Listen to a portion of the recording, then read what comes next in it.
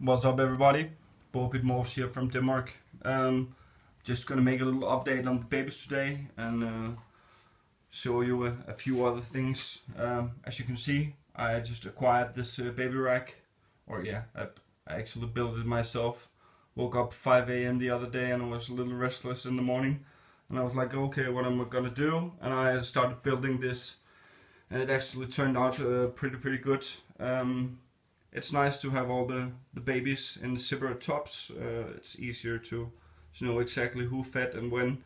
Um, and for those of you who who have um, more babies together in one tub, don't do it. Just get some small tubs, have them separated. It's much easier, and uh, yeah, I'm sure you will love it. I'm just gonna show you some of the the babies we got from our last litter, uh, from a Jungle Possible Nora to a DH Sunset Hyperhawk.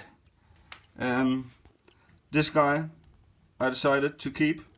He is just one amazing jungle. Look at this pattern. It's uh, it's crazy. Um, some of them already fed. Also this guy um, but today I just got some live babies in and um, I decided to, to try to um, offer them some more. I also still have a few that didn't eat yet. Um, boas can be a little tricky at times uh, to get going, um, but I'm sure after I put some substrate down here and or some new substrate and some live babies, they will all eat. Um, this is also full stride baby. Um, we got 20 babies from the litter uh, and actually hit some pretty amazing odds. Uh, first of all, um, 20 babies, no stillborns, no slugs, and then uh, turned out that uh, 16 of the 20 jungle uh, babies were jungle so that's just amazing. Should only have gotten 10. Actually, we should have got gotten 5 hypo jungles, 5 normal jungles, 5 hypos, and 5 normals. But uh, yeah, it's 16 jungles, so that's that's pretty cool. Normally, I only offer my snakes dead, but um,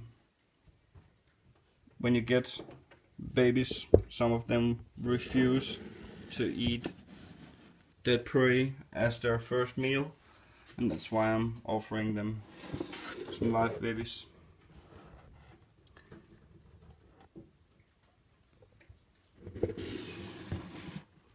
We are getting our next litter in two to three weeks so it's gonna be really exciting to see what the, huge female will deliver. It's actually the girl that's going right in here. She's a good 40 pounds female, so uh, very very big. I'm expecting that she will drop minimum 40 babies, maybe even 50, but uh, I guess only time will tell some of these jungles are pretty amazing. I like the the reduced pattern all the way down. All of them are not like high expression jungles, but uh,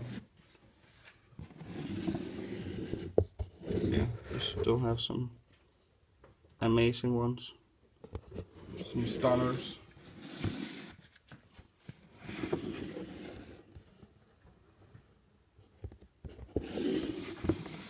You can see I'm keeping track here with the whiteboard makers uh, on the top so I, I can see who ate and when they ate.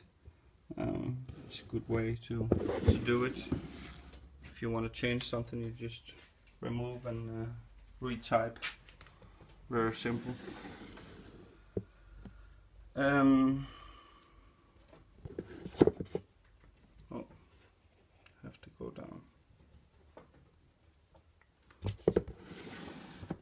This is always tricky. Especially when they're not scared of your finger. Um, and we will have a litter again in uh, just around one and a half month. It's a litter uh, where we used uh, the, the possible Nora again. Uh, just gave him a, a break and then uh, I decided to put him on a on a Suriname so I'm looking very much forward to see what she will deliver.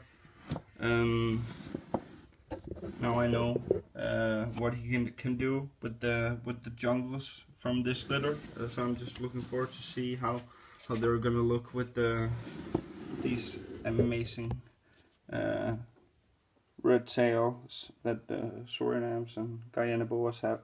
Um, it's gonna be amazing but yeah YouTube I'm uh, gonna stop the video here. I'm uh, gonna make a new one for you soon. Um, I hope everyone is having a great season. And um, yeah as always have a good one. Bye